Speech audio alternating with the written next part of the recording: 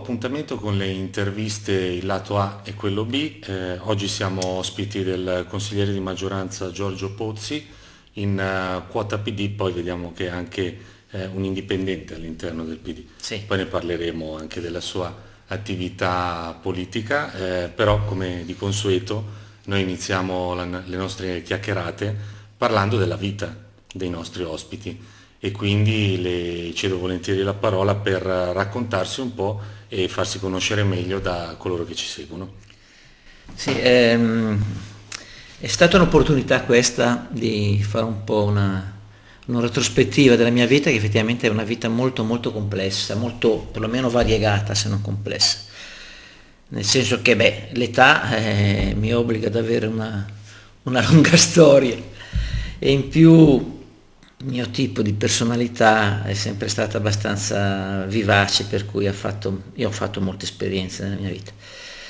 Um, ho 68 anni, sono di origine lombarda, la mia famiglia è proprio lombarda, un fratello, due sorelle, un po' più piccole. Eh, ho fatto, anzi come famiglia abbiamo fatto molti trasferimenti in Nord Italia perché mio padre lavorava nel mondo tessile e siamo arrivati a Saronno proprio perché Arrivavamo da Crespi d'Adda, dove c'era l'industria tessile Crespi, molto importante, e siamo venuti quando ancora c'era il POS, POS che oggi non c'è più, invece c'è l'Aldo Moro, per cui eh, tutta la famiglia ha seguito il padre, eh, partendo da Vimercate, mio paese di nascita, dove c'era una grandissima industria che si chiamava l'Inificio Canapificio Nazionale, uno dei, dei capisaldi dell'industria tessile italiana, dopodiché ci siamo trasferiti a Portogruaro, nel Veneto, e lì mio padre lavorò nella Marzotto, alla Marzotto, e lì ho fatto degli anni meravigliosi perché lì ho fatto la mia adolescenza.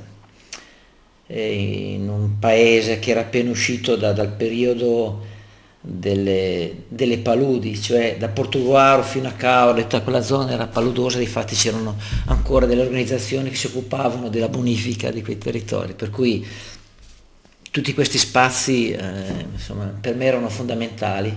Fondamentali perché io ho sempre avuto alcune passioni, so, eh, io ho avuto la fortuna di fare l'esperienza dello scoutismo estremamente importante e questa, questo fatto di aver trovato in questo movimento amici e pur trasferendomi da città in città, da regione in regione e avendo sempre trovato questo riferimento non ha creato degli sbandamenti, insomma è stato molto utile per me e anche per gli altri miei, gli altri miei fratelli. Ma questo spazio, questi spazi del, del, di Portogallo e del Veneto mi hanno permesso, pur se ero ragazzino, perché facevo, lì ho fatto la prima superiore, mi hanno permesso di eh, cominciare ad avviare una passione che era un po' l'imitazione di mio padre. Mio padre era un marciatore, e per cui sentir raccontare e venire quando venivamo qua in Lombardia per i morti, per trovare i parenti, ma per vedere la 100 km, a me questa cosa dava un fascino incredibile. Per cui appena ho potuto, perché mi è stato permesso dall'età, eh, poter fare delle competizioni sportive, fare gare di fondo, gare di lunga distanza, sulla lunga distanza per me è stata una cosa esistenziale ed è stata un'altra passione che mi ha guidato per tutta la mia vita. Per quanto riguarda, e poi magari ci ritorniamo su questa cosa perché secondo me è molto importante questo aspetto, lato sportivo.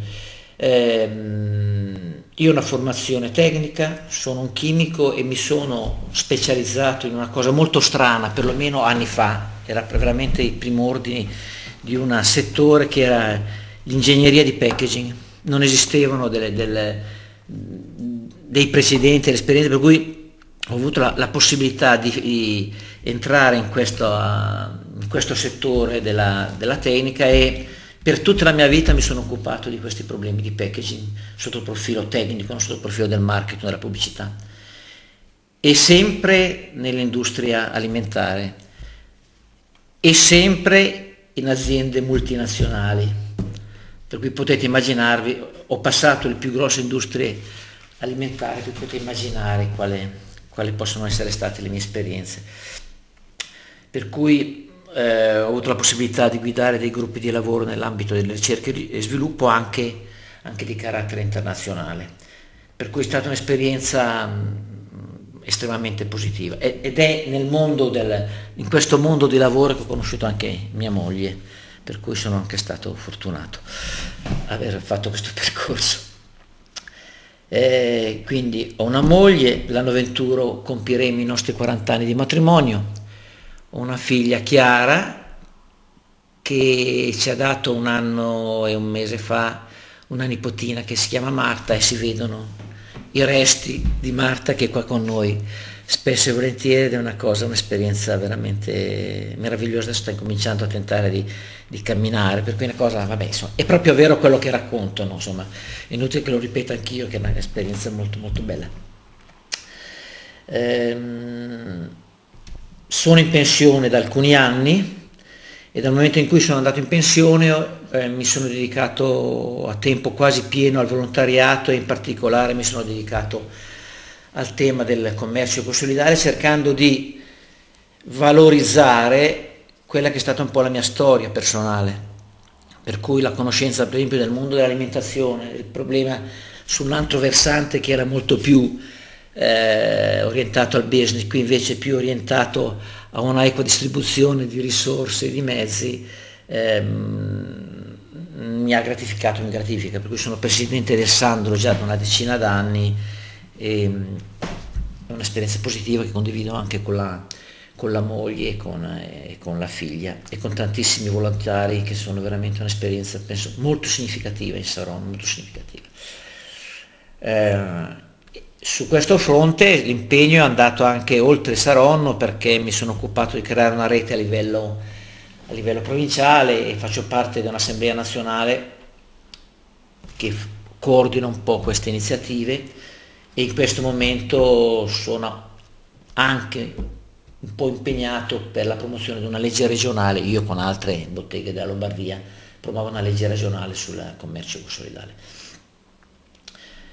Ehm, faccio anche parte delle ACLI, del comitato direttivo delle ACLI, sono un po' un, un, arrivato, perché ripeto, la mia formazione, il mio stile di vita è quello che viene dal mondo scout, però vedo che anche lì qualche cosa, un po' di servizio si può fare per il bene della collettività, della cittadinanza.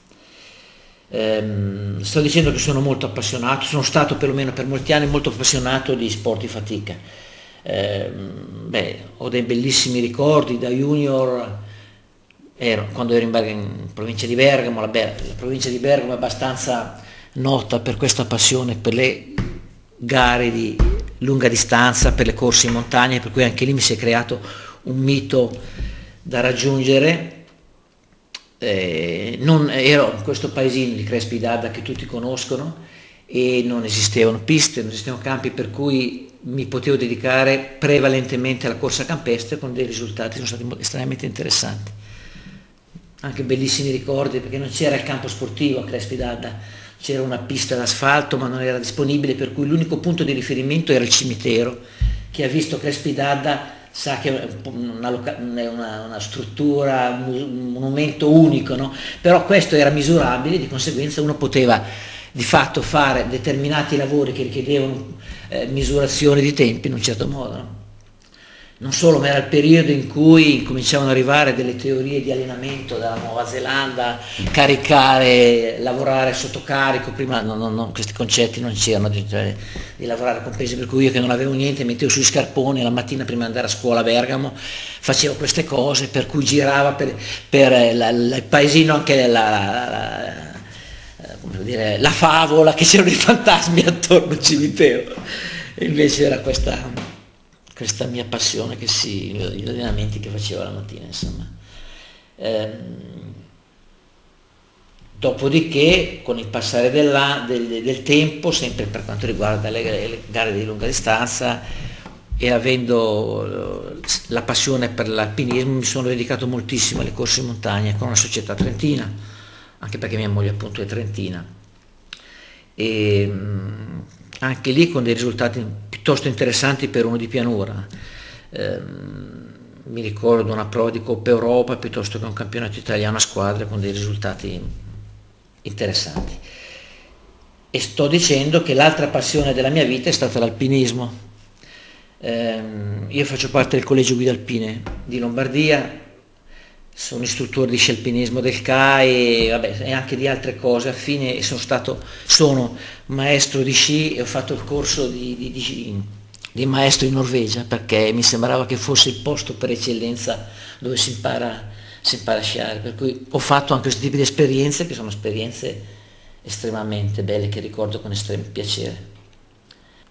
E mi stava dicendo appunto di, questi, di questo viaggio che ha fatto in Norvegia per imparare anche meglio diciamo, sì, diventare sì. Una, proprio, un istruttore provetto. No, no, proprio per, sì, per, avere il diploma di maestro. Sì, vabbè, questo è stato un viaggio di piacere, mentre nella mia vita io e mia moglie e anche la figlia, finché siamo riusciti, abbiamo fatto, penso, molti viaggi invece per, per conoscere, per, eh, anche per supportare progetti di cooperazione. Per cui, non so, siamo stati, il primo viaggio di un certo genere è stato in Indonesia, ancora con la, con la figlia piccolina, poi siamo stati in Perù, non classico, ma per, abbiamo fatto il Perù classico, ma soprattutto quello che ricordiamo con piacere è, è un trek, uno dei percorsi che abbiamo fatto nella Cordigliera Blanca, Molto, una, una, una, zona di montagne fantastico, meraviglioso, per cui abbiamo, l'abbiamo girato un po'. Dopodiché un altro viaggio, siamo nel, nel 95-96, è stato allora possibile in Birmania quando era estremamente complesso poter andare in Birmania. Anche questo è un viaggio meraviglioso perché questa civiltà, questa cultura è affascinante, questo fiume che attraversa la, questo paese, questi ravadi e, rimane impresso, questi templi sul, sul fiume, questi colori, è una cosa veramente che non si può dimenticare. Poi abbiamo fatto un po' di Nepal ma siamo dovuti scappare l'anno dopo per, eh, per, problemi monsonici, siamo spostati in Thailandia, abbiamo fatto dei giri anche lì, noi andiamo sempre in modo diciamo informale, non in modo organizzato, eh, abbiamo visto una, una Thailandia piuttosto poco nota, però abbiamo visto anche la Thailandia problematica, ci siamo resi perfettamente conto dei problemi sociali e anche di, dire, dei comportamenti osceni degli occidentali quando arrivano in questi paesi passaggio successivo è stato quello del Messico-Guatemala, ma dicendo Messico-Guatemala il Messico scompare perché emergono i colori del Guatemala, per cui il Guatemala domina alla grande su, in un viaggio di questo genere, insomma, eh, non si può dimenticare insomma, la, la, varietà di colori in ogni villaggio di queste comunità di donne, era bellissimo. Poi abbiamo fatto un viaggio un po' a supporto della cooperazione in Zambia, Zimbabwe, in particolare in Zambia perché c'era un ospedale dove mm, era medico un amico, siamo stati in Zambia ed è stata lì una, la prima volta che abbiamo visto l'Africa perché veramente non ci sentivamo preparati ad andare in Africa, come per tanto tempo non ci siamo sentiti di andare in India, cioè dove la miseria è grossa andare, ci sembra di andare a dar fastidio alla gente, i problemi sono, insomma, ci vuole delicatezza nelle relazioni con la gente. Quindi siamo passati in Brasile l'anno dopo perché nostra figlia sta facendo una tesi in una baraccopoli di Rio eh, e lì abbiamo conosciuto, abbiamo conosciuto di Rio soltanto le baraccopoli, però abbiamo avviato delle relazioni che stanno continuando su un progetto di una zona di Rio con un gruppo di famiglie di Saronno. Adesso è abbastanza noto il, l'associazione Penociao, eh, no Penociao, eh, Agua Doce è nata proprio da lì perché di fatto c'è in questa zona di Petropolis vicino a Rio eh, è, un, è, stato uno dei cuori della teologia della liberazione i vari boff sono cresciuti in quelle università e, sono, e hanno prodotto lì dei progetti per cui l'esperienza del Brasile è stata questa, di conoscere dei progetti di sviluppo in particolare di comunità, di asili, di comunità di bambini.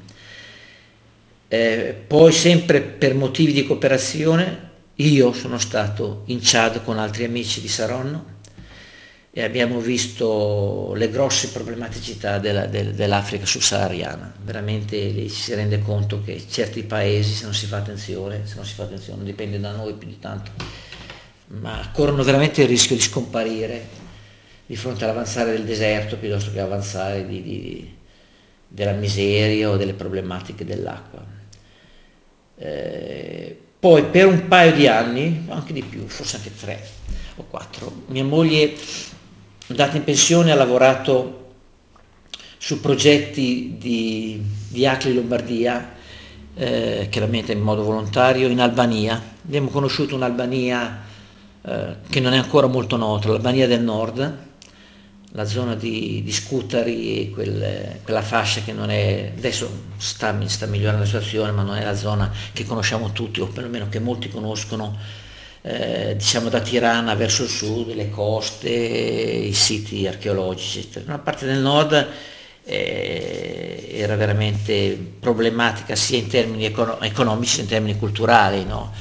famosi, quei famosi eh, comportamenti, eh, esclu- eh,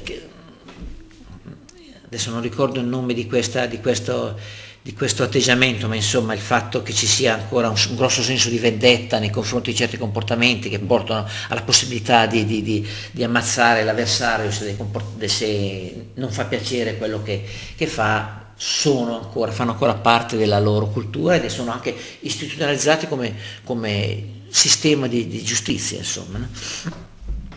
Però mi ha permesso anche, ci ha permesso anche di entrare nelle zone molto più a nord che sono quelle a confine con il Montenegro, dove ci sono degli ambienti alpini fantastici. Cioè, qualcuno dice che eh, questi ambienti sono ambienti calcarei, dolomitici, con fiumi meravigliosi, queste vallate sono eh, paragonabili alla nostra cortina d'Ampezzo quando ancora non esistevano le case. Io questo raffronto non lo posso fare perché non ho visto cortina, che so io cento anni fa, ma ci sono delle situazioni veramente fantastiche con eh, villaggi che sono rimasti in condizioni abbastanza originali e con eh, dei, dei, resti storici, perché alcune università americane si stanno interessando, stanno facendo dei lavori in questi, in questi villaggi al confine con il Montenegro, sia d'inverno che d'estate.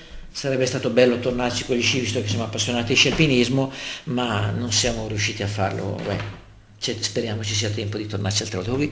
Eh, il nord della, della, della, dell'Albania è molto interessante, merita di essere, di essere scoperto. Dopo l'Albania eh, una, una, meta abbastanza scontata, l'Argentina e il Cile con un, una permanenza piuttosto lunga in Patagonia perché volevamo girare la, la, la zona del Sierra Torre, di queste montagne mitiche, queste sono montagne mitiche per l'alpinismo, eh, hanno dei ricordi insomma, veramente affascinano, per cui siamo riusciti ad andare in Patagonia, a girare un po', un po in Patagonia. Ehm, dopodiché, ancora per motivi di cooperazione di mia moglie, ehm, è andata in eh, Marocco, lei è stata in Marocco un po' di tempo per seguire l'avviamento di certe mh, scuole, corsi di formazione e io allora l'ho raggiunto, siamo andati anche lì, abbiamo avuto anche lì la possibilità di andare in montagna nella zona del Tukal. Il Marocco secondo me è un paese deliziosissimo. Queste montagne del, del, sono una catena di 4.000 metri, sono una serie di 4.000 metri e noi siamo stati, non mi ricordo in che stagione, ma erano ancora, ci sono ancora dei canaloni sciabili, per cui anche lì senz'altro ci sono dei potenziali di, di, di, di turismo di valore. Eh, due anni fa invece siamo stati con, altri, con cinque persone del, del Sandalo, siamo andati in Bangladesh, lo scopo di questo viaggio era proprio di andare a contattare, conoscere le comunità di donne che fanno produzioni per il commercio consolidale, agevolati dal fatto che, eh, molti salonesi sanno, eh, il Sandalo ha avuto tra i soci fondatori eh, Massimo Cattaneo. Massimo Cattaneo oggi è un operatore opera in Bangladesh, per cui il fatto di poter andare in giro con lui perché c'era la, la delicatezza della lingua e un altro sacerdote locale eh, italiano ma che operava lì, che seguiva questa comunità, è servito proprio per entrarci, per stare assieme a loro, per, per avere relazioni altrimenti non sarebbe stata una cosa molto superficiale. Invece abbiamo visto la bellezza di questa esperienza del commercio eco per valorizzare, per far crescere comunità e persone, le donne in particolare. Sono le donne in particolare, quando si va in giro ci si rende conto veramente della, della, della centralità delle donne per, far, per, avviare uno sviluppo, per avviare un cambiamento nelle società. Eh, siamo tornati sempre con un gruppo di, di, di, del Sandalo eh, l'anno scorso in Nepal, anche qua per andare a incontrare una serie di organizzazioni del commercio consolidali, eh, sia in Kathmandu sia in, a Pokhara, che è il secondo centro sul lago, un posto meraviglioso perché è ai piedi della Napurna, un'altra montagna affascinante. Lì abbiamo camminato poco, però abbiamo conosciuto in particolare un'esperienza che si chiama Children Nepal in Pokhara, che abbiamo sposato a livello nostro di, di Sandalo eh, e su questo stiamo cercando di fare iniziative per, per sostenere questa esperienza che riteniamo molto significativa. Ecco, questa è un po' il, la serie di viaggi che abbiamo fatto, eh, per il momento non abbiamo ancora programmi, per i prossimi in quanto appunto c'è la nipotina da seguire, però speriamo di poter continuare a fare viaggi. Eh, magari poi quando crescerà coinvolgerete anche lei. Eh, beh, io mi auguro ma penso, ci pensano già i genitori fortunatamente. Eh, una cosa che, una curiosità che mi è venuta in mente mentre raccontava del Marocco, sì. ha accennato al potenziale turistico. Lei ha un'esperienza di viaggi eh, solidali, quindi anche per aiutare sì. le popolazioni e mi sembra che abbia ovviamente un'idea molto di un viaggio più a tutto tondo. Cosa ne pensa invece del turismo e come si può eventualmente... Ma in Marocco? In generale, in generale, proprio nei luoghi che lei ha visitato, cosa ne pensa della, dell'impatto che può avere il turismo e magari come dovrebbe essere condotta un'idea turistica in certe zone?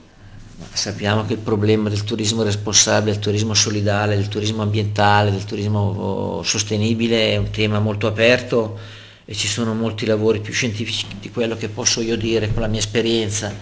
Sappiamo che è un problema molto delicato, però è vero che nell'ambito delle, delle aree di sviluppo, se c'è la produzione attraverso il commercio ecosolidale piuttosto che la creazione di, di, di, di strutture sanitarie, oggi senz'altro uno degli strumenti di crescita, ma autogestita dalle popolazioni è senz'altro quella del turismo, per cui sta crescendo questa, questa coscienza anche da parte delle persone che vivono che non devono farsi demolire né a livello personale né a livello proprio, del proprio ambiente, perché chiaramente, chiaramente, è così, purtroppo è così, insomma, beh, in qualunque parte, in qualunque paese, eh, uno dice ma in Kenya, in Kenya ci sono le spiagge più belle del mondo, sì, però in Kenya ci sono anche dei grossissimi problemi quando ci si sposta di 50-100 km e questo vale più o meno per tutti i paesi in via di sviluppo, i paesi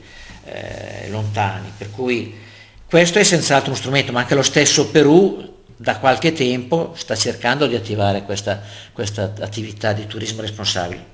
C'è un, c'è un, gruppo di saronnesi che nella zona proprio del Machu Picchu hanno incominciato a curare un gruppo di, di, ragazzi, però di fianco ci hanno messo come fonte di autosostentamento la possibilità di ospitare in modo chiaramente semplice, ma però di fatto eh, queste cose stanno, stanno, maturando, anche perché, ripeto, c'è anche chi fa proprio delle scelte. Io vado a fare un viaggio concepito così, per cui cerco di avere degli appoggi presso delle comunità, per cui ho un rapporto diretto e posso dare un supporto economico a queste popolazioni, per cui il fenomeno sta senz'altro crescendo. Eh, vedremo come andrà, insomma. Magari cercando di mantenerlo, farlo crescere, però poi mantenerlo magari su numeri non troppo elevati, proprio perché se arriva poi il turismo di massa Ma rischia sono, di ecco, travolgere tutto. Ci sono delle organizzazioni anche dedicate, no? Perché queste proposte non vengono fatte da tutte le agenzie, vengono fatte da agenzie che sono, tra virgolette, certificate, no? fanno parte di questa organizzazione che si chiama ITR, eh, Associazione Italiana Turismo Responsabile, per cui ci sono dei criteri, come sono i criteri per il commercio eco, ci sono i criteri per quelle, tutte quelle che sono le istituzioni che hanno una loro eticità, ehm, per cui forniscono programmi abbastanza ampi adesso, non solo, ma si sta sviluppando diciamo che un turismo responsabile a livello locale, no? perché questo tipo di sensibilità, di avere delle relazioni quando viaggiamo, andiamo in giro di un certo genere ci può essere anche qui. Noi siamo stati, io e mia moglie un po' di anni fa in Sicilia, ma non è che vogliamo fare gli eroi o, o i masochisti, ci piace la vita come piace a tutti, ma eh, non abbiamo perso l'occasione di andare a vedere là dove Libera ha i suoi punti di riferimento, conoscere queste esperienze di eh, cooperative di giovani che stanno cercando di riscattarsi attraverso il recupero delle terre espropriate alla mafia. No?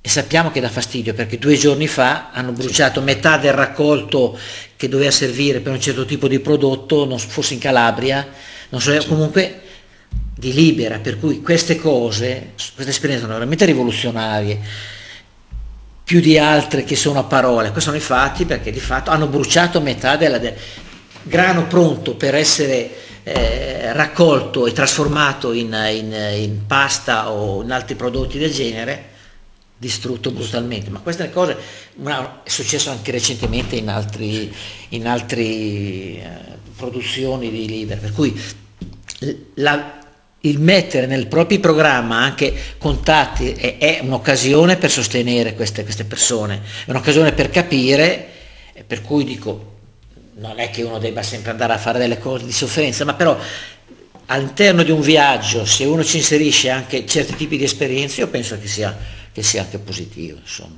oltre che piacevole, perché abbiamo trovato la gente estremamente aperta e simpatica. Siamo andati a dormire proprio a Portella della Ginestra, no? Famoso per, per, il massacro dei contadini là, quando c'era della torre, non so bene, comunque è stato il massacro dei contadini sulla, e in un caso, no, in un agriturismo curato molto bene da questi ragazzi. E lì c'era Totorino che entra a dormire qui e sa che dentro lui c'era stato questo personaggio.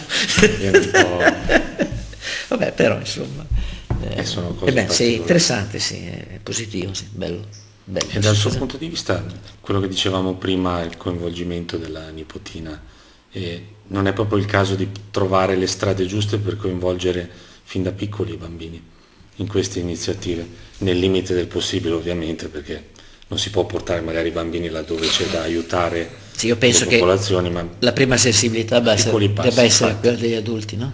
mm. E delle esperienze educative che vengono fatte fare a questi bambini adesso io non per, non per tornare, tirare ancora l'acqua al mio mulino della mia esperienza fatta nello scautismo, ma però per un'esperienza di questo genere già ti mette, ti fa vedere certe cose in un certo modo, no? Eh, per cui non so, quando fai, praticamente quando sei più grande, fai dei campi in cui giri per i paesi piuttosto che per certe realtà un po' problematiche, ti mettono questa sensibilità all'altro e al fatto che le, certe diversità possono essere dei valori e non delle, delle, delle frustrazioni, per cui sì, insomma, bisogna coltivarle queste cose. Io penso che i bambini siano molto sensibili, però non bisogna nemmeno eh, castrarli prima del tempo, però senz'altro sì, insomma. Quello del viaggio io penso che lo si possa fare. Noi con Chiara, non so, siamo stati in Indonesia, non so quanti anni avuto, era piccolina, insomma, però era un gruppo, era già un gruppo un po' più grosso, per cui dentro ci poteva stare, perché sappiamo il problema è quello della compagnia per i bambini, per cui... però ci sono anche famiglie che fanno determinate esperienze di turismo o di viaggio, non so, una, conosco una, una famiglia saronnese insegnante lui, formatrice lei, con due bambine hanno fatto un bellissimo viaggio con, con, con un asino in un certo percorso, queste sono esperienze positive, insomma, no? stimolanti, no? poi dopo vabbè, è una seminagione, poi dopo il figlio magari farà l'opposto, farà... Sì. però insomma adesso... Si cerca diciamo di instradarli nella... No, far nella prendere un po' di coscienza. Un po di... E invece l'esperienza che ha appunto con il sandalo, Ehm, come vede la risposta qui in. Italia, qui nella zona? A Saronno molto alta, cioè in un momento di crisi come, mm, come sappiamo essersi nell'ambito del commercio, il sandalo cresce ed è cresciuto e adesso noi chiudiamo, abbiamo chiuso il bilancio a giugno, ma anche quest'anno siamo cresciuti. È chiaro che possiamo crescere perché i nostri costi di gestione sono abbastanza contenuti, perché abbiamo sì qualcuno assunto, ma abbiamo una grossa presenza di volontariato, un grosso supporto al volontariato e un volontariato che deve sempre essere più qualificato, oggi non è più ammesso che si possano fare le cose in qualche modo, sia perché in una bottega come la nostra, come tante altre, si ha un rapporto con il cliente, il cliente è il cliente. È vero che da noi il cliente è, è selezionato, per cui anche se c'è, eh, senza offendere nessuno, è volontario, magari meno brillante, ma c'è la comprensione della situazione. Abbiamo per esempio eh, un amico, un ragazzo che è con noi ehm, perché collabora con noi da un po' di tempo e dà un po' al suo caratterino. Però la gente stima perché c'è questa originalità di questo ragazzo, per esempio. No? E così vale per altri, perché beh, bottega, una bottega come la nostra è una bottega di relazioni per cui è fondamentale la relazione e il far capire le cose. La gente, eh, lo dicono anche le statistiche, oggi più che mai è critica nei consumi, in senso anche certe volte di magari spendere di più per fare una scelta che ha un senso. Per cui, ripeto, noi abbiamo avuto risultati positivi e mm, abbiamo avuto anche la fortuna, grazie al grosso lavoro che facciamo di comunicazione, di iniziative. Noi ci mettiamo a disposizione di tutti e mettiamo il nostro marchietto ma non vogliamo mai che sia solo, anche se magari siamo i promotori di una cosa, ci fa sempre piacere condividerla, cioè cooperare anche nella, nella collaborazione e questo ci permette di, di, di, creare una rete, una rete che insomma dà, i risultati anche in termini poi commerciali, eh, no? lo so, lo sanno tutti perché non abbiamo nulla da nascondere, noi a Natale abbiamo avuto un ordine da autostrade, regalistica autostrade, noi che siamo una delle botteghe medie, insomma, non dico più piccole, medie, hanno selezionato noi tra tante altre che magari fatturavano 10 volte più di noi. Perché? Perché noi abbiamo detto, beh, il nostro commercio eco lo conoscete, i motivi che ci stanno dietro li conoscete. Oltre a quelli, noi, eh, attraverso il nostro lavoro, vogliamo girare una quota a questo progetto di Children Nepal. Il fatto che noi avessimo, dessimo questo valore aggiunto ha motivato loro nel, nel, nel farci questo ordine che è un ordine che noi ci ha fatto raddoppiare il fatturato, per cui grazie anche a questo, a questo apporto eh, e grazie all'apporto noi facciamo parte di un consorzio che si chiama Altro Mercato. Probabilmente, probabilmente ha visto che noi siamo, ci diamo da fare, noi in agosto rifacciamo l'arredo della bottega, ci prendiamo un mese di lavoro tutti assieme e risistemiamo l'arredo, vuol dire che insomma effettivamente la gente, la, la gente ci, dà, ci, dà, ci, ci dà tanta soddisfazione, ci dà risultati. Vi dà credito e vi segue. Sì, sì, sì, sì. sì, sì. Eh, questo è importante anche per cambiare un po' le cose. Magari in un momento come questo si riesce anche a fare qualcosina in più proprio perché c'è molto, molto disincanto anche rispetto a quello che è il sistema che invece abbiamo e che impera ancora adesso, anche se sembra essere in crisi. Sì, bisogna comunque essere propositivi, anche innovativi, non so se non voglio fare una pubblicità che è più legata forse mia, alla, al mio impegno politico, ma però si mixano le cose perché io non vedo grossa differenza tra il mio impegno politico e l'impegno sociale. Adesso di fronte, magari ne possiamo parlare poi con calma, di fronte al problema del terremoto in Emilia, il Sandro si è messo in prima linea per poter eventualmente raccogliere ordini, però magari ne parliamo poi con calma perché penso che sia una cosa interessante da approfondire questa del, del terremoto dell'Emilia. Infatti io volevo iniziare a introdurre un po' la, la seconda parte della nostra chiacchierata eh, parlando appunto di questo parallelo che c'è tra la sua attività e l'impegno in politica, perché poi come vado a ricordare, giusto per uh, ricordare poi qual è stato l'impegno che lei, lei, si è assunto attraverso il sindaco che le ha dato questo incarico, eh, a lei è stato dato proprio l'incarico specifico eh, relativo allo sviluppo dell'economia solidale delle reti sociali e della cooperazione, in collaborazione con l'assessore Vaglioni, che già abbiamo anche intervistato. Sì, è un po' un'attività e... un po' trasversale, in sì, certi casi mi trovo a, a lavorare, beh io lavoro molto su obiettivi perché mm. vengo da una formazione di un certo genere, privatistica di portarti risultati, per cui io continuo a operare con, quella, con questo tipo di filosofia. Ehm, sì, ho questo tipo di, di, delega è una delega che fa molto parte di quello che io oggi sto facendo. Ehm, e in più in questo speci- preciso momento, da, da, diciamo, da un mese, mi è stato chiesto di seguire, ho anche provocato la cosa, eh, il tema, questo tema particolare che è il terremoto, l'emergenza terremoto giù perché di fatto è necessaria una certa cooperazione. Per quanto riguarda in generale l'argomento della mia delega ufficiale, è una delega strana per, nel senso che, non so se uno dice ma vediamo cosa fanno di qua o cosa fanno di là su questo tema, non ci sono riferimenti, però questo mi responsabilizza e mi dà ancora più, più carica, vabbè, bisogna creare, bisogna inventare, bisogna, bisogna, cercare di portare anche nell'ambito territoriale alcune cose che non ci sono, per cui ehm, io ho, ho creato, mi sono creato un programma che ho definito Terra, Cibo e Sostenibilità, e in questo programma mi sono inserito una serie di progetti. Eh, alcuni ormai sono abbastanza noti perché sono ormai collaudati e stanno andando, sono, vanno a regime.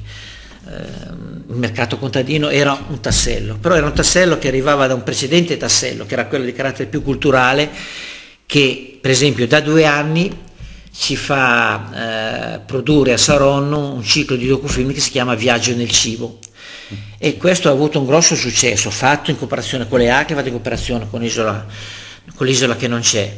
E, beh, questo è servito per affrontare certi tipi di temi, no?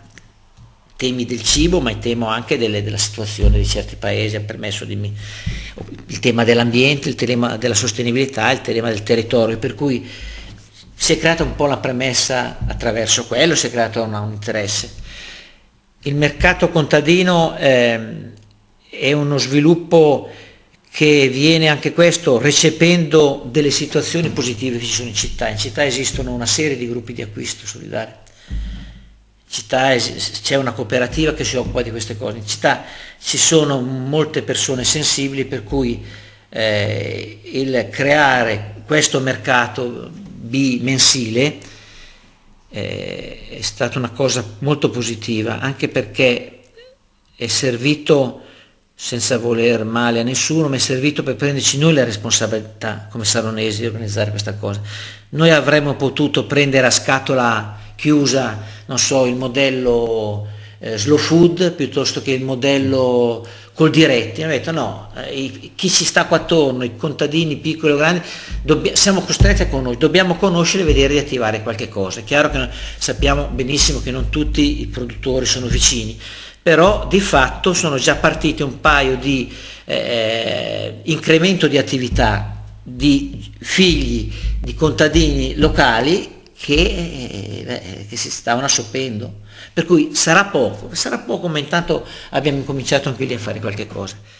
Secondo, una seconda area di lavoro è stata quella che è ancora in corso, è quella relativa agli orti scolastici è da due anni che ci sto lavorando, da due anni che insomma grazie al fatto che ci sono degli insegnanti molto in gamba, c'è questa sensibilità, c'è questa cultura eh, di ritornare a, a, capire il senso della terra e dei, dei, dei, frutti della terra, per cui è partito una prima esperienza lo scorso anno alla San Giovanni Bosco, quest'anno è stata riportata ampliandola alla, alla Rodari, Dico ampliandola perché chiaramente ogni esperienza ha le sue caratteristiche, sia perché sono persone, bambini, magari classi diverse.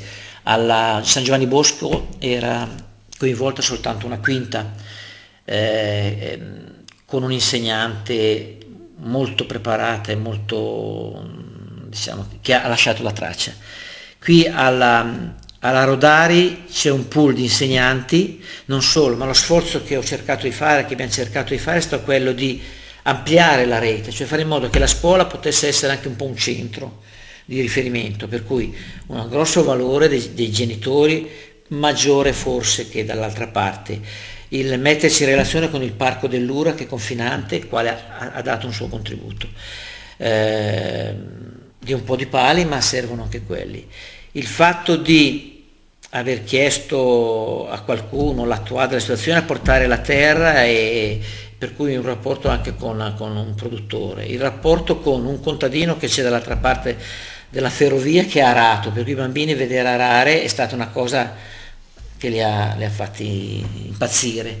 Il fatto di aver chiesto alla, allo IAL, la scuola di formazione professionale, la quale scuola ha anche dei corsi diciamo, per persone che hanno bisogno di un particolare supporto e c'è all'interno di questi corsi una, un'attività di falegnameria, chiedere a loro di recuperare pallet che ci siamo fatti dare, trasformarla in staccionata, montarla loro a scuola è stata un'altra grossa cosa positiva. Cioè questi ragazzi scalzacani che vanno in una scuola come attori fondamentali, che vanno a fare la palizzata, beh è stata una cosa significativa, è stata una cosa significativa. Dopodiché l'insegnante chiaramente ha potuto valorizzare il fatto che era pallet, materiale di recupero riutilizzato. Ecco, diciamo che lì abbia, grazie alla scuola e a un genitore abbiamo preso dei contatti con eh, l'Istituto Agrario di Minoprio. Insomma, abbiamo fatto evolvere il, il, il, progetto e adesso è stato inaugurato un mesetto fa, mi sembra. Adesso stiamo lavorando sulla Pizzigoni.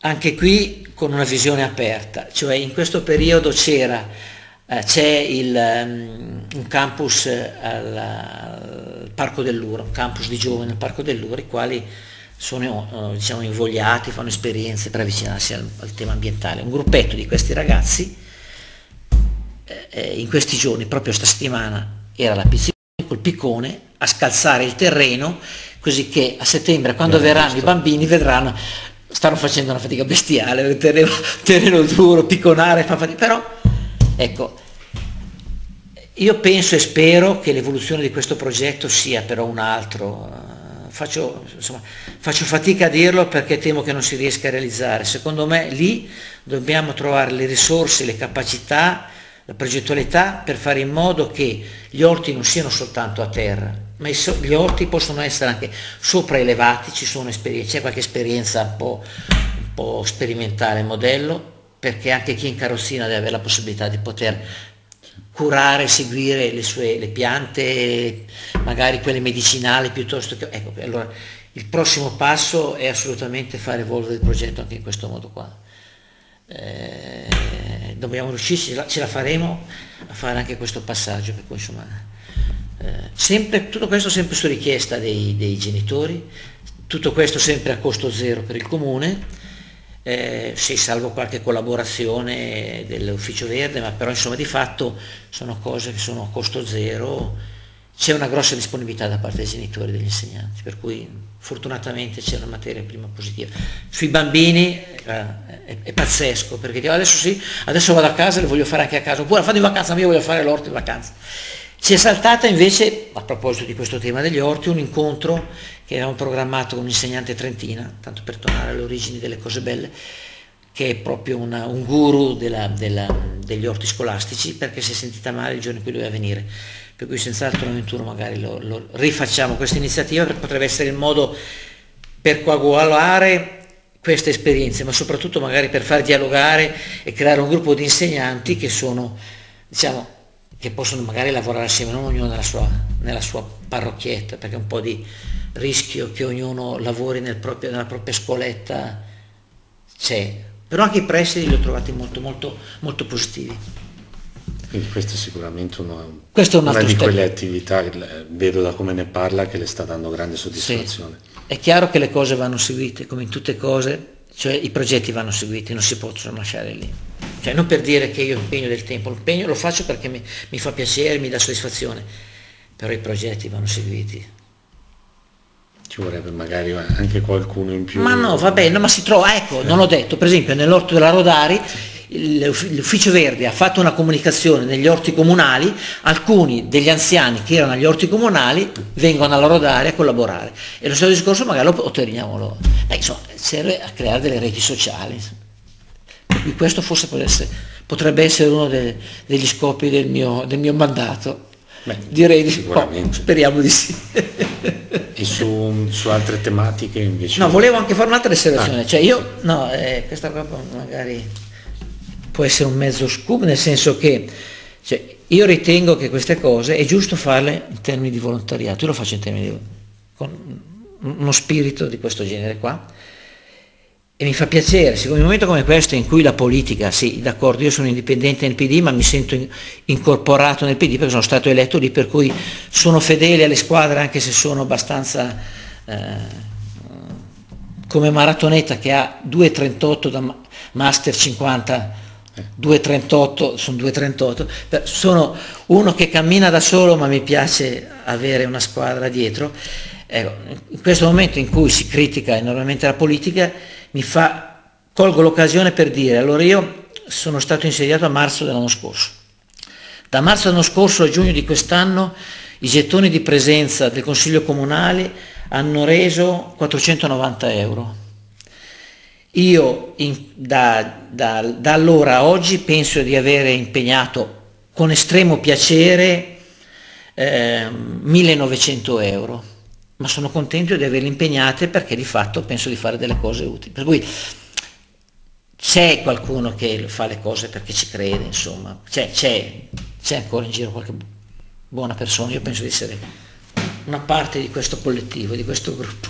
Cioè, lei sta investendo in quello in cui crede. Ma è l'ultima, sì, è, ho l'opportunità, questa è una fortuna, poter fare qualcosa in cui ci credi e in cui devi saper creare delle relazioni, perché le positività ci sono, la gente in Saronno, guarda, veramente ce n'è tanta ce n'è tanta disponibile. Certe volte si chiude, e se poi parliamo de, del formaggio, del, del, progetto lì, dell'iniziativa sul terremoto, anche qua dovremmo dire che cioè, c'è una ricchezza, una generosità che non finisce più. Eh, infatti parliamo proprio di parliamo... questo argomento, eh, perché vedo che me l'ha accennato un po' di volte, quindi sì, perché adesso siamo, una, una siamo, molto importante. In siamo, in, siamo in opera, nel senso che allora il terremoto è stato fine giugno, eh, il sindaco il 2 giugno ha detto che eh, pensava di fare un gemellaggio, aveva desiderio di fare un gemellaggio con una località del Mantovano che si chiama Pegognaga, l'ha annunciato in pubblico. Io da parte mia, sempre come battitore libero, però la fiducia c'è sempre da parte di, Luciano, del sindaco e degli altri. Nel frattempo avevo avuto l'occasione di avere una serie di contatti, conoscenze, amicizie, del fatto che nel Modenese, a San Felice sul Panaro, eh, c'erano diciamo, dei concittadini che avevano conoscenze, amicizie. Eh, ora c'era in atto la preparazione della festa al Padre Monte, la festa della musica. L'assessore di questo paese è un amico di uno dei gruppi che dovevano suonare, tra l'altro l'assessore alla cultura. Beh, è chiaro che c'è stata la possibilità di mettersi subito in collegamento. E, e poi si diceva, come dicevano tutti, bisogna recuperare il formaggio, non è una sì. cosa così semplice, anzi estremamente complessa. Estremamente complessa perché innanzitutto è proprio lì in quel paesino lì, il, il prodotto tipico non è il formaggio ma è il salame, c'è un salame tipico di San Felice però l'area, l'area è quella del parmigiano reggiano. Ehm, noi avevamo bisogno perché era anche un, un desiderio dell'associazione Monti che faceva questa iniziativa di avere il prodotto per poterlo vendere, insomma per fare un'iniziativa di carattere sociale. Bene, siamo dopo tutta una serie di contatti perché, detto per inciso, il problema centrale è che questa gente ha, ha grosse difficoltà di accedere al credito ha, sono imprese che non hanno possibilità di avere. Non solo, ma hanno visto il proprio bacino di commerciale locale distrutto, per cui ha bisogno di andare all'esterno. Ora, loro fanno le vendite solo se di fatto anticipi i soldi. Noi avevamo bisogno di mille pezzi di grana e che il salame che ci davano andava bene, poi si è dimostrato 390 pezzi che voleva dire un ordine di 15.000 euro. Beh, 15.000 euro dove andiamo a peccare 15.000 euro? Dice no, grazie appunto a questa collaborazione tra, tra le due amministrazioni, eh, io sono andato, sono andato giù io assieme a un amico e un ragazzo, un ragazzo che ha fatto un'esperienza anche di vita importante. Eh, niente, grazie alla mediazione, all'accompagnamento dell'assessore, di questo assessore ci hanno dato prodotto senza senza così, insomma sì, ha fatto una fattura intestata a Sandro perché qualcuno doveva dare, però non abbiamo anticipato nulla. Questo è successo il venerdì, sabato e domenica l'iniziativa, noi lunedì o martedì abbiamo fatto il bonifico e l'utile è stato di 2.300 euro perché su ogni pezzo, come stiamo continuando anche per le prossime campagne, mettiamo un euro che li stiamo mettendo in un, in un fondo e poi dopo vedremo con i comuni cosa fare. Per cui questa è stata la prima esperienza che ha dato questo risultato. Dopodiché il Coro Alpe il 21 di, di giugno doveva fare l'iniziativa e anche il Coro Alpe ha detto ma eh, vorrei anche io usare questo strumento. Il Coro Alpe delle verità ha usato due, due strumenti, sia quello della, della raccolta fondi così eh, liberale, sia quella tramite un'associazione che si chiama Giugiolo e di Sandalo, la vendita diretta di questo formaggio. Il formaggio che abbiamo recuperato è quello di Pegognaga, questo famoso comune. Allora, se a San Felice abbiamo visto la distruzione della città, del centro storico, una distruzione angosciante, come pure tutte le case coloniche sono, sono finite, non ci sono più le case coloniche, forse costruite a secco, sta di fatto tutto distrutto. In questo paesino del Mantovano, Mantovano di cui non se ne parla più di tanto, del, del problema del Mantovano non se ne parla, non so se ci sono dei motivi di carattere anche politico, non facciamo le titrologie, ma sta di fatto che non se ne parla o se ne parla troppo poco. Le case sono ancora abbastanza in ordine, tutti gli spazi pubblici invece sono in grosse difficoltà per cui non sono agibili, per il momento perlomeno, e lì c'è una località di, con dei caseifici di Parmigiano Reggiano, è zona di Parmigiano Reggiano, le strutture, i capannoni sono tutti interi, dall'esterno tutto in ordine, uno apre la porta e vede il disastro, vede il disastro. Un disastro complicato dal fatto che mentre di là ci troviamo di fronte al parmigiano reggiano stagionato, per cui tutti sappiamo, abbiamo letto, abbiamo sentito che il consorzio del parmigiano ha recuperato tutte le forme o gran parte delle forme distrutte perché può rilavorarle e trasformarle in, in formaggio grattugiato. Qui il prodotto è fresco, qui in questo paese il prodotto ha 12 mesi. Ora o lo riescono a vendere trasformandolo, recuperando quello che possono recuperare, oppure non c'è niente da fare. Allora abbiamo recuperato 500 pezzi, li abbiamo venduti tutti anche, quello, anche quelli. Adesso stiamo avviando, stiamo in riavvieremo una campagna di raccolta di ordini in una serie di associazioni, organizzazioni, raccoglieremo gli ordini, ci faremo dare una campagna, mi scuso se faccio un po' di propaganda, ma insomma eh, raccoglieremo gli ordini da, presso queste associazioni che si rendono disponibili per raccogliere gli ordini, anticipando la caparra, Siccome sia il formaggio che il salame, che arrivano da, appunto da queste due località che, che ho citato, eh, costano 10 euro, sempre con questo margine di un euro, un euro e qualcosa per pezzo, possiamo dire tu dai una capara di 10 euro, dopodiché lo ritiri. Ehm, possiamo cominciare a parlare della disponibilità a questo punto qua, perché non so, c'è un, un contadino, un agricoltore di Uboldo ha messo a disposizione una cella frigorifera. Una serie di persone che hanno detto, ma per ridare il prodotto, perché dov'è che... Io penso che almeno ci vorranno ancora 500-600 eh, pezzi di formaggio che bisognerà andare a prendere perché purtroppo loro non sono in condizione di spedirci, mentre il salame ce lo possono consegnare loro. Dove mettiamo, dove lo distribuiamo? Allora l'idea, facciamo un gazebo in Corso Italia, portiamo lì la merce e la gente la ritira lì. Ecco, questa è l'idea di qualcuno e qualcuno è già disponibile per andare lì e dare il prodotto, fare in modo che il ritiro avvenga lì sabato 21 perché c'è un'azienda per esempio che ha detto no, ne vogliamo un bel po' però vorremmo darlo prima delle ferie. Perché non ci avevo mai pensato. Se vai in vacanza dai parenti o da qualcuno se porti un pezzo di parmigiano è una cosa che fa piacere. Va bene. Va bene.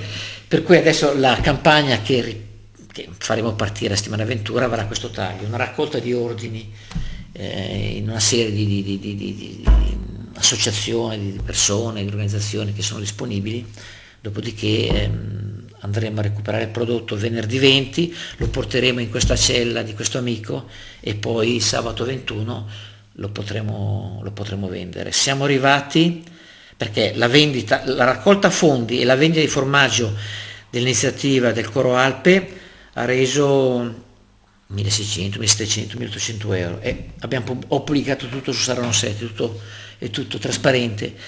E, ehm, io penso che un altro migliaio di euro verranno fuori ancora da lì, per cui insomma, pian pianino proseguiamo il nostro cammino. E si sì. riesce, sì. come diceva adesso, eh, no, una... facendo gruppo. A Sandalo, a Sandalo ogni giorno c'è un po' di persone che vengono, ma il formaggio, adesso bisogna dare la sposa, il formaggio. Eh sì, perché poi è un prodotto eccezionale, quindi... Sì, è questo, quello che noi recuperiamo, quello. quello. che recuperiamo questa volta è ancora quello mantovano, cioè per quanto riguarda il formaggio mi sembra che abbia più bisogno il mantovano. E poi c'è questa mm. questione di prodotto fresco, cioè, insomma, eh, bisogna fare in modo di consumarlo, di utilizzarlo. Insomma. È molto interessante quello che diceva anche per, questa, per questo problema importante che è anche contingente e bisogna fare anche in fretta, proprio l'idea di fare rete, riuscire a fare sì. rete è quello che vedo che a lei fa piacere riuscire a fare riuscire a mettere insieme le persone e fare in modo che riescano a collaborare perché al meglio. Perché si ottengono i risultati. e si fa una formazione diffusa di certi sentimenti, di certe idee. Sì. sì. Ma poi vengono magari quelli che partecipano poi tornano anche con loro proposizioni, qualche beh, progetto beh, nuovo, qualcosa. Adesso, fa, magari dicono io faccio la mia piccola parte, però intanto la faccio. No, ripeto. Però allora, poi la lasciano allora, a lei. No, no, no, no. io adesso, io fine settimana voglio andare in Trentino con la nipotina, per cui qualcun altro si preoccuperà del no, però l'impostazione è già nero su bianco di, di questo programma di lavoro, è già nero, è già stato diffuso tra queste associazioni, queste persone che sono disponibili. No, ci sono delle persone che hanno già detto io sono disponibile a stare tutto sabato a distribuire la roba Adesso troveremo qualcuno che va giù a recuperare il formaggio, il salame ce lo facciamo mandare, le associazioni devono raccogliere gli ordini e rilasciare una ricevuta per il ritiro, per cui insomma non è che sia una cosa, cioè, però bisogna programmare, controllare che tutto venga a tempo debito, insomma, nel modo dovuto. Dicevo anche se c'è magari qualcuno che partecipando dice però io avrei una tale idea per un altro problema, qualcosa... Beh, proprio qualcosa che esula adesso da, da, quello di cui stiamo parlando e magari se lo sono sempre tenuto dentro poi dicono finalmente posso dare una mano e ho anch'io qualcosa da proporre o preferiscono magari no, eh, tante volte c'è proprio la, la, la, la paura di, me, mm. di, magari di imbarcarsi in qualche cosa perché magari uno si sente inadeguato no? sì, però per esempio uno dei contatti essere attivi da cosa è venuto fuori? Perché due settimane fa c'era un'iniziativa di, di tennis tavolo a Saronno e volevano anche loro fare questa operazione di già che dice viene gente da tutta Lombardia cogliamo l'occasione per non c'era non, tecnicamente era impossibile però chi ha organizzato questa cosa dice però mi rendo a disposizione per il lavoro generale Beh, insomma, sì, sì, sì. che si riesce io vedo molta positività però le volevo fare una domanda che magari adesso vediamo se trovo qualcosa magari che può non andare o meno. meno cioè, se, se, ci sono dei progetti che lei aveva all'inizio del suo mandato e che magari pensava potessero già essere messi in sì. cantiere o addirittura già essere sì. in corso sì. e le manca appunto quel qualcosa per poterli... Ce n'è uno, così almeno provochiamo chi non ha ancora deciso. Una delle mie idee che rientra in questo in questo piano una delle mie idee, no? mi ha detto la formazione, il mercato, gli orti, eh, c'è quella di alla Cascina Ferrara, nella, nella, casa di riposo della Cascina Ferrara, sì. c'è un magnifico eh, orto frutteto che è abbandonato da anni. E questo orto frutteto potrebbe essere valorizzato per,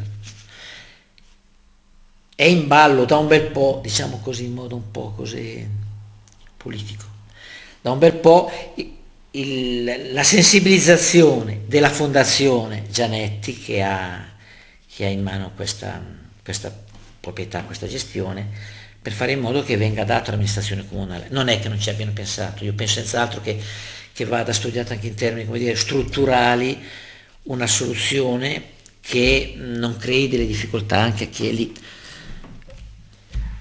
Ecco, questa è una cosa che pensavo potesse partire prima, però adesso si sta risvegliando in questi giorni questa possibilità, perché io per esempio lì vedo la possibilità di fare un giardino degli aromi, sul, ne esiste uno alpini, già eh, manicomio Pini, lì c'era un bel giardino, hanno recuperato una parte, l'hanno valorizzato con le erbe aromatiche le erbe aromatiche vuol dire entrare anche un po' nella tematica della terapia.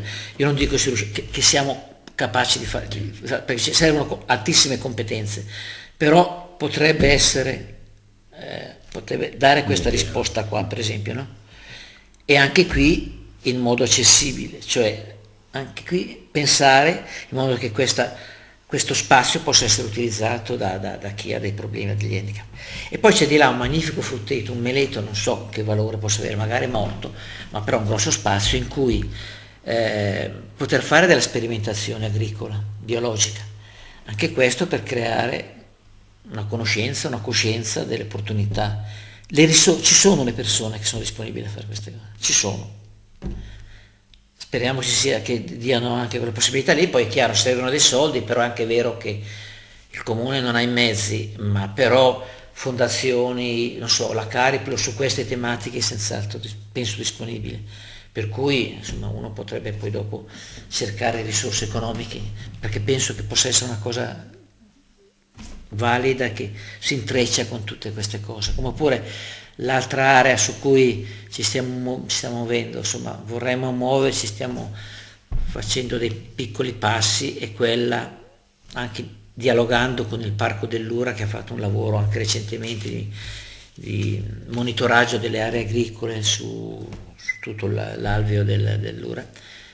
Perché non pensare di avere qualche piccola produzione, recuperare delle produzioni, attivare delle produzioni con, magari con una cooperativa giovanile. Perché no? No, perché non pensare a una roba questo genere?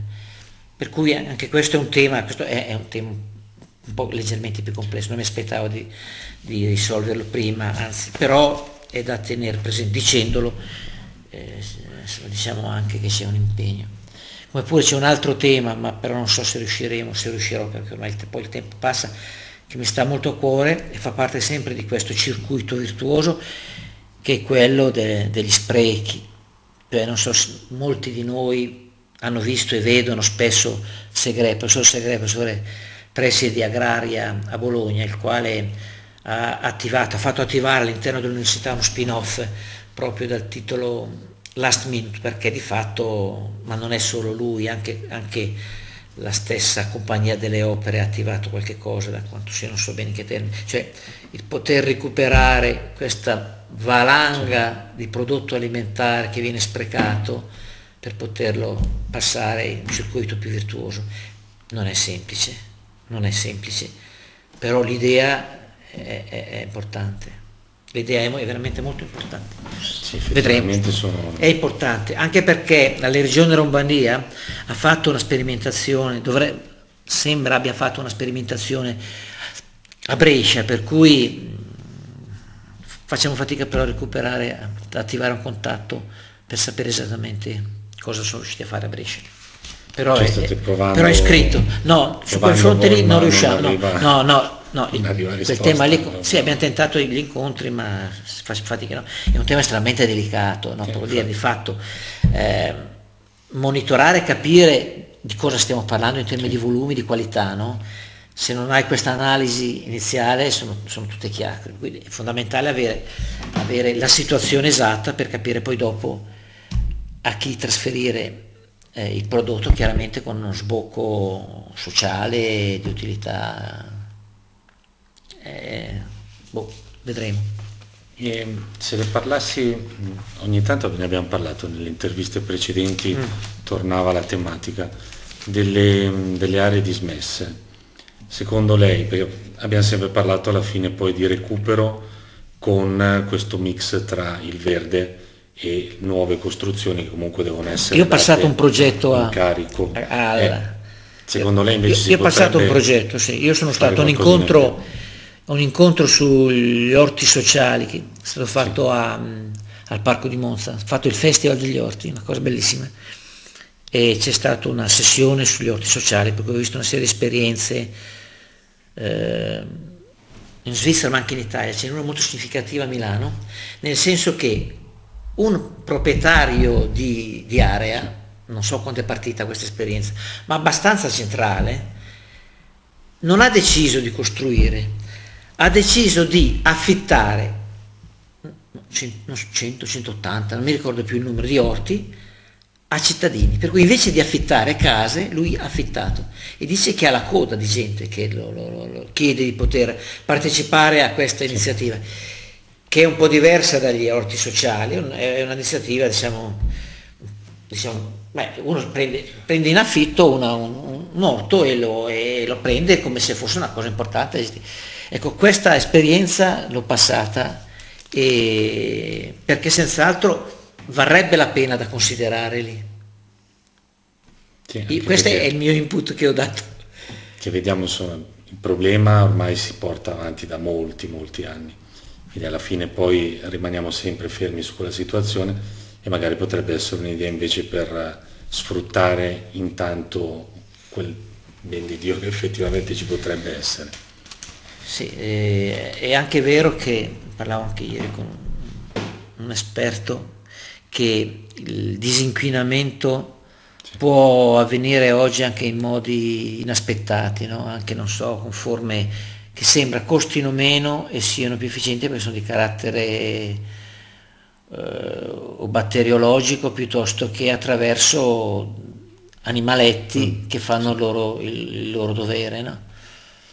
Adesso non, non, ho approfondito, però proprio ieri sentivo che in alcune, specialmente dove ci sono contaminazioni di, di arsenico esovalente, nel caso nostro, però potrebbe essere, non so, perché noi noi lì abbiamo senz'altro resti che derivano da industria chimico-tessile, per cui senz'altro non ho presente i dettagli dell'analisi del terreno, ma insomma io penso che ci siano anche dei modi non cruentissimi, non costosissimi per disinquinare, perché bisogna disinquinare. È vero che vediamo che adesso fanno gli orti in cima ai grattacieli, sì. no? fanno i supermercati negli Stati Uniti. No? dopo la, l'orto che ha fatto Madame Obama. No, comunque insomma è chiaro che bisogna, bi, bisogna sensibilizzare su questo tema. L'orto, di fatti, a me fa piacere dire, i bambini fanno gli orti per poi insegnare, stimolare gli anziani, noi anziani a ritornare a pratiche un po' più virtuose.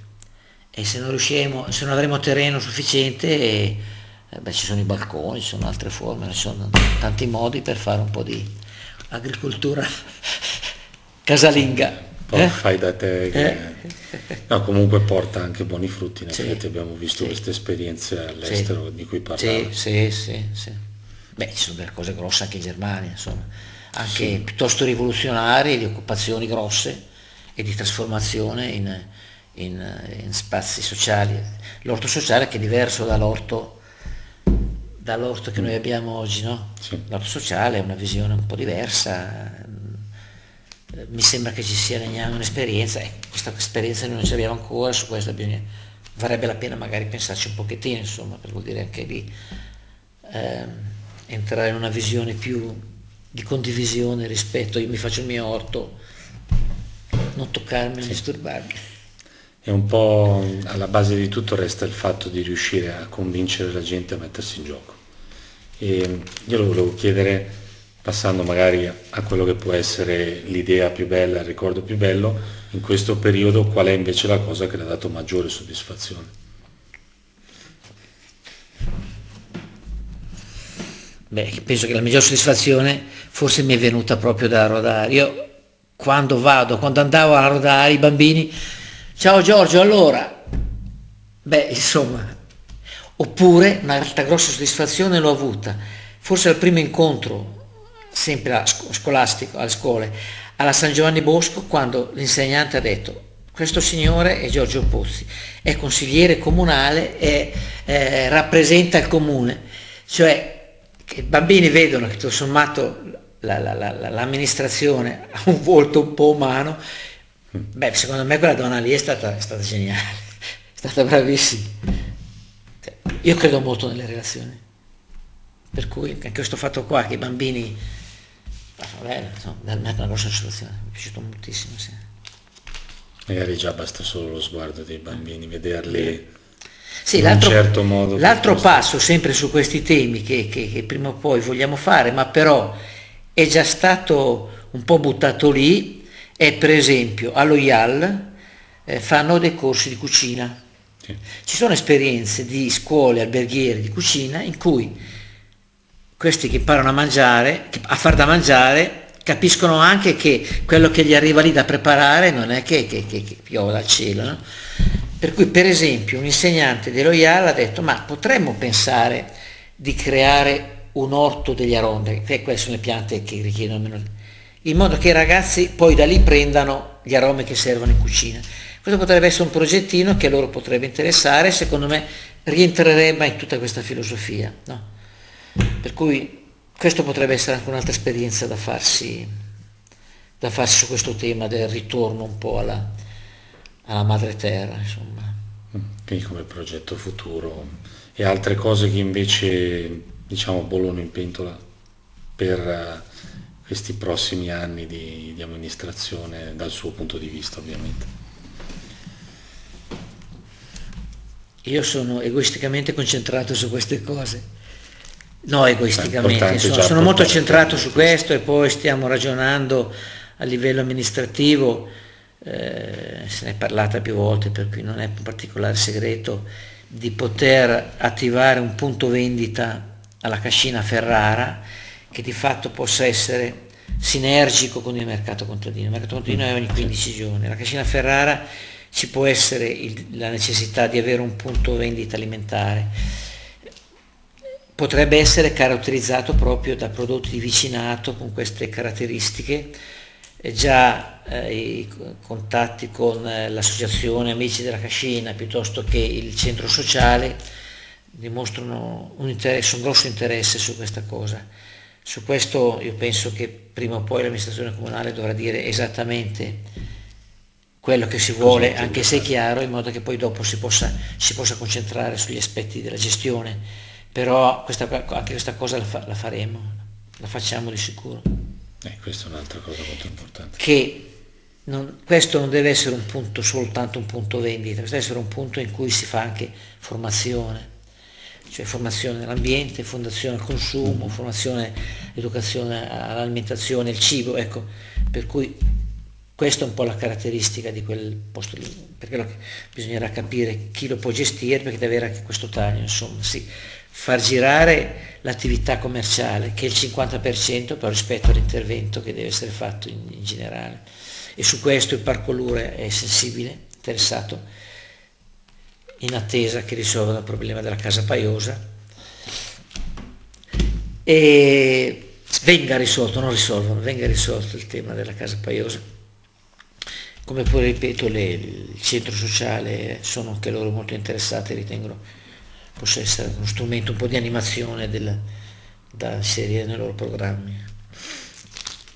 E noi di solito facciamo una chiusa eh, guardando al futuro. Sì. Già lei è una persona molto ottimista, quindi so già cosa mi dirà, però io chiedo lo stesso proprio perché abbiamo questa buona abitudine di fare un po' le carte al, futuro. E, e volevo chiedere appunto cosa si sente lei di dire ai cittadini saronnesi per quello che è il futuro prossimo, quindi per i prossimi mesi che dal punto di vista economico si preannunciano sempre durissimi, e però anche per il futuro più a lungo termine, per i prossimi anni. Beh, non è un segreto che questa maggioranza è unita, ma questa maggioranza ha delle sue specificità, per cui non, che, non si nega niente nel dire che insomma la, Fortunatamente la volontà del sindaco è quella di, di, di, tenere, fare in modo che ognuno possa esprimersi con la sua autonomia, ma in, in collaborazione. Questo sforzo va fatto e insomma, è, secondo me è molto molto importante. Eh, per cui non penso, insomma, questa amministrazione chiuderà il suo, il suo, il suo mandato così com'è. Eh, io vorrei sperare che questi temi grossi che sono le, le, le aree dismesse e queste aree qui dietro la stazione possano trovare una loro soluzione. Non, non, mi sembra semplice la cosa, non mi sembra semplice la cosa, la volontà c'è anche perché è un tema importante. Eh, il fatto che sia stata concentrata tutta l'attenzione dei campi lobo su, questa, su questo tema dovrebbe permettere un maggiore sblocco. Eh, è che ognuno di noi ha un modo di lavorare su, insomma, penso di non, di non creare screzi con nessuno, ma insomma io sono abbastanza per l'efficienza e per portare risultati, per cui magari qualche volta varrebbe la pena che un po' tutti avessero questa determinazione, questa eh, attenzione al risultato. È vero che non tutti i risultati, non tutti i temi, tutti i progetti sono, sono semplici, certi aspetti sono, certe tematiche sono estremamente complesse in termini burocratici, però io, a me sembra di capire che anche, non so, adesso parla in questi giorni del tema del, del, del personale comunale, ma io vedo che se di fatto uno si impegna, se uno dà, tra virgolette, il buon esempio, questo dà frutto. Io non so se deve essere un consigliere comunale che deve dare il buon esempio o deve essere il dirigente di area che deve dare il buon esempio, probabilmente tutte e due No? Probabilmente serve anche lì una, essere un po' di modello, però bisogna, bisogna impegnarsi. Se si fa così eh, la gente segue, la gente segue. Eh, boh. Quindi lei dice insomma, l'importante è dare il buon esempio e per il futuro quindi c'è l'ottimismo se tutti si danno da fare in un certo modo in, tu, in, quanto tutti devono darsi da fare eh, in un certo appunto. modo. Qui c'è, diciamo, c'è, l'augurio ma c'è anche il monito per qualcuno, non facciamo nomi però. No, ma vale per tutti, magari vale anche per me, cioè insomma io non sono molto per la, le, le, le, le, chiacchiere all'infinito, insomma, mm. sono anche perché certe volte si chiuda e si decide e si faccia. Io penso così. È anche quello che probabilmente vorrebbe anche la gente se glielo si chiedesse. Penso, penso di sì, presumo proprio di sì. Allora io con eh, l'augurio che ha fatto e anche il monito che ha lanciato, chi, chi, deve sapere sa, la, la, saluto e la ringrazio per l'ospitalità. Poi vi giro le mail che mi hanno mandato domani mattina per okay. assistire sabotaggio. Magari ne mettiamo poi. No, scherzo, scherzo. No. Eh, la ringrazio come dicevo per l'ospitalità, per la gentilezza anche nel rispondere alle nostre domande e vi ricordo che l'appuntamento è per le prossime interviste che arriveranno dopo la pausa estiva, quindi da settembre riprenderemo.